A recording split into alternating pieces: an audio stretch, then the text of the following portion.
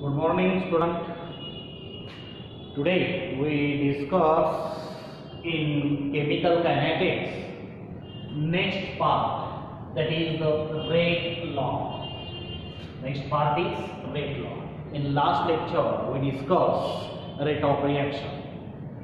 Instantaneous rate of reaction or always average rate of reaction. In this lecture we discuss a rate law. A rate law, it is defined as the rate of reaction is directly proportional to the molar concentration of molar concentration of reactants rise to some power नीट लक्षात घ्या एक्झाम्पलमध्ये जर आपण असं लिहिलं A plus B gives product मला प्रॉडक्टची देणं देणं नाही रेट लॉ मध्ये rate of reaction is directly proportional to the molar. म्हणजे कॉन्सन्ट्रेशन सुद्धा कोणतं पाहिजे? तर molar molar concentration of reactant म्हणजे रिएक्टंट ए असेल तसंच रिएक्टंट बी असेल. परंतु महत्वाचं काय? याचा जो मोलार कॉन्सन्ट्रेशनचा पॉवर आहे तो पॉवर काहीतरी असला पाहिजे? जो असेल तो. वन असेल झिरो असेल जो असेल तो असेल. आणि म्हणून रेट लॉ जनरली लिहित असताना rate of reaction is directly proportional to the molar concentration of reactants raise to some power raise to some power हे एक्स आणि वाय जे आहेत ते जे पॉवर्स आहेत मोलार कॉन्सन्ट्रेशनचे हे याचे सहगुणकच असले पाहिजेत असं काही नाही. म्हणजे इट इज स्टेचोमेट्रिक जी इथं कोइफिशियंट आहे ते असलं पाहिजे असं काही बंधन नाही. हे प्रॅक्टिकली आपण त्याला फाइंड आउट करत असतो. प्रॅक्टिकली असं आपल्याला माहिती नसतं. नीट लक्षात घ्या. तर हे एक्सपेरिमेंटली फाइंड आउट करावं लागतं. थेरॉटिकली किंवा कसं दिसतं याच्यावरती आपल्याला लिहिता येत नाही. म्हणजे हा जो रेट लिहितो आपण rate is equal to proportionately constant K वापरलं into concentration of A raise to R is the concentration of D raise to R where K is rate constant K ला काय म्हणतो आपण? रेट कॉन्स्टंट असं आपण म्हणतो. हा जो रेट कॉन्स्टंट आहे हा रेट कॉन्स्टंटची जर डेफिनेशन तुम्हाला परीक्षेमध्ये विचारली तर आपल्याला असं लिहावं लागतं E concentration of A is equal to concentration of B is equal to one is one mole per decimetre cube ज्यावेळेस त्याची किंमत एक ठेवा त्यावेळेस एकचा एक्स घातांक एकच असतो एकचा वाय घातांक एकच असतो. म्हणजे म्हणजेच हा के म्हणजेच रेट असतो.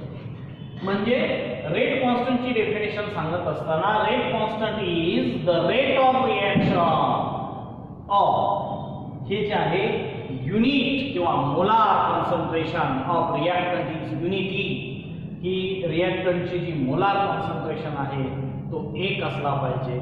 त्यावेळेस असणारी त्या रिएक्शनची रेट ऑफ रिएक्शन म्हणजे रेट कॉन्स्टंट म्हणजे rate constant it is defined as the rate of reaction E the molar concentration of reactants is unity all reactants is unity म्हणजे अजून एक दोन किती असतील तर प्रत्येकाची मोलार कॉन्सन्ट्रेशन एक असलं पाहिजे हे प्रमाण.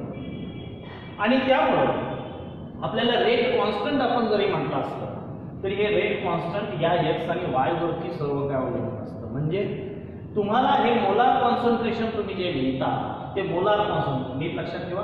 रेट ऑफ रिएक्शन ते मोलार कॉन्सन्ट्रेशन तुम्ही पण पॉवर तुमची स्टेचोमॅट्रिक रिएक्शनमध्ये असणारी जी पॉवर आहे ती पॉवर आपल्याला तिथले सहगुणकच असले पाहिजेत असं बंधन नसतं. म्हणून हेही आपल्याला तिथं लक्षात घेणं गरजेचं म्हणून आपण ज्यावेळेस एक्सप्लेन करतो रेट लॉ मग रेट लॉ सांगत असताना it is defined as the rate of reaction is directly proportional to the चौकटी कॉन्स म्हणजे molar concentration of reactants raise to some power is called as a rate law याला तुम्ही differential rate law सुद्धा म्हणतो.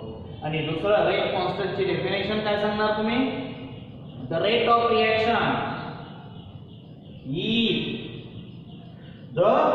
molar concentration of reactant is unity is called as rate constant आता for एक्झाम्पलमध्ये आपण if x is equal to 1 y is equal to 1 याच्यात जर म्हटलं आपण तर रेट इज इक्वल टू काय होणार K into concentration of A into concentration of B.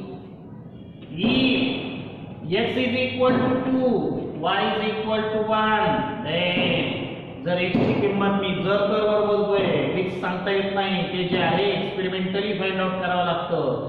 X ची किंमत दोन असल्यामुळे पॉवर काय येणार आहे? आणि वाय ची किंमत वन आता याच्यामध्ये महत्वाचं काय? जर x ची किंमत एक आणि वाय ची किंमत एक असेल म्हणजे रिएक्टंटचं कॉन्सन्ट्रेशन समजा बी कॉन्स्टंट ठेवलं a चं कॉन्सन्ट्रेशन तुम्ही दुप्पट केलं तर रेट सुद्धा दुप्पट त्याचं कॉन्सन्ट्रेशन दुप्पट केलं तर रेट ऑफ रिएक्शन सुद्धा दुप्पट होते.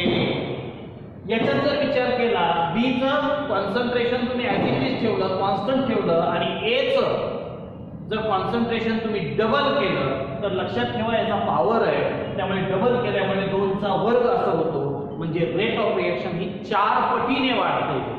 फोर टाइम्स होते.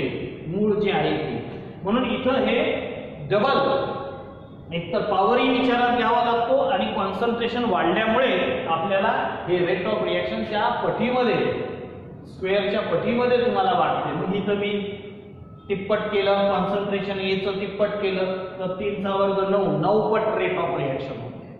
म्हणून हे सुद्धा आपल्याला तितकंच गरजेचं आहे.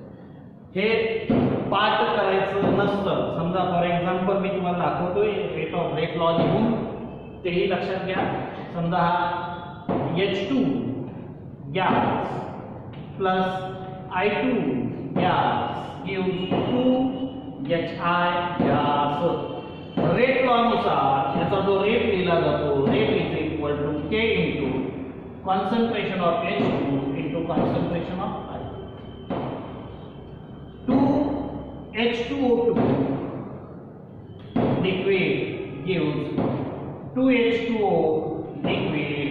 plus plus O2 gas आता हेही लक्षात ठेवा rate लावनुसार rate is equal to K into concentration of H two O two रिएक्टनचा संबंध इथं दोन आहे त्याचा पॉवर दोन आहे असं काही तो डोक्यामध्ये संकल्पना घालून ठेवू नका. लक्षात तिसरं C S three C H O हा गॅस घेतला. Gift C H O gas plus C O gas. या रिएक्शनमध्ये रेट लॉ नुसार rate is equal to K into concentration of reactor हा एकटाच आहे. C S three C H O त्याचा जो पॉवर आहे तो थ्री बाय टू आहे. म्हणजे हा जो पॉवर येतो तो एक्सपेरिमेंटली फाइंड आउट केला जातो. तो काही पाठ करायचा नसतो. इथं दोन आहे म्हणून तिथं दोन. अशी काहीही डोक्यामध्ये संकल्पना आणून ठेवू नका. इथं हे एक्सपेरिमेंटली डिटरमाइन म्हणजे रेट लॉ मध्ये हा एक्स आणि वाय हा एक्सपेरिमेंटली डिटरमाइन केला जातो. आणि मग इकडं सुद्धा आपलं लक्ष आणि हेही तितकंच गरजेचं आहे. अजून एक एक्झाम्पल मी मुद्दाम इथं लिहितो. एनओ टू प्लस सीओ हा NO two gas CO gas gives NO gas plus CO two gas. या रिएक्शनमध्ये rate लॉनुसार rate is equal to K into concentration of NO two square into concentration of CO हा जो सीओचा power मी म्हणतात zero नीट लक्षात घ्या. मी हे नाही लिहिलं तरी चाललं असतं पण तुम्हाला हे सांगायचं आहे की असंही म्हणायचं नाही की रिॲक्शनमध्ये इन्व्हॉल्व्ह होणाऱ्या प्रत्येक रिॲक्टरच्या कॉन्सन्ट्रेशनवर त्याचा रेट ऑफ रिएक्शन अवलंबून असतो असं नाही. एक्सपेरिमेंटल कंडिशन एक्सटर्नल फॅक्टर सगळ्यांच्या विचार केला जातो. या रिॲक्शनमध्ये ह्या एनओ टूच्या कॉन्सन्ट्रेशनवर अवलंबून आहे पण सीओच्या कॉन्सन्ट्रेशनवर अवलंबून वेट रेट लॉ आपल्याला हे कुठं तर डोकत बसणे पाठ करणे हे पाठ पाठांतर वगैरे आपल्याला काही करायचं नाही. आपल्याला हे सगळं हां एक्स आणि वायच्या किमती आपण आता प्रॉब्लेम सॉल्व्ह करताना आपल्याला फाइंड आउट कराव्या लागतात. त्या एक्सपेरिमेंटली तुम्हाला असतात त्या व्हॅल्यूज परंतु आपण ज्यावेळेस प्रॉब्लेम देतील त्यावेळेस त्या व्हॅल्यूज दिल्या जातात. कॅल्क्युलेशन करून आपल्याला त्या फाइंड आउट कराव्या लागतील. पण आता हे काही पाठ करू नका. फक्त आता महत्त्वाचं काय? रेट लॉची मिनिंग काय म्हणतो it is directly proportional to the molar molar concentration of reactant rise to some power. आणि हेही लक्षात ठेवा this power is not stoichiometric coefficient of म्हणजे हे असलंच पाहिजे असं नाही असू शकतं. नसू शकतं. आहेच असं कंपल्सरी आपल्याला येणार नाही. तर हा होता तुमच्याकडे रेट लॉ थँक्यू